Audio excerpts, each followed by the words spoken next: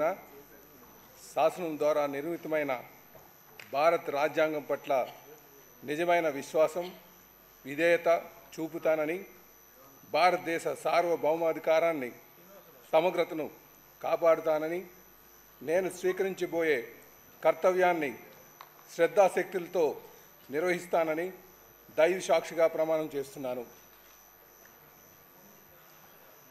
ఆంధ్రప్రదేశ్ శాసనసభ సభ్యుడినైన పల్లా శ్రీనివాసరావు అనే నేను సభా నియమాలకు కట్టుబడి ఉంటానని వాటిని అనుసరిస్తానని సభా మర్యాదలను పాటిస్తానని సాంప్రదాయాలను గౌరవిస్తానని దైవ సాక్షిగా ప్రమాణం చేస్తున్నాను.